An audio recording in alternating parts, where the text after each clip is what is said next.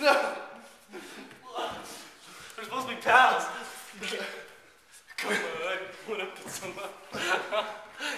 That's the dumbest move I've ever seen.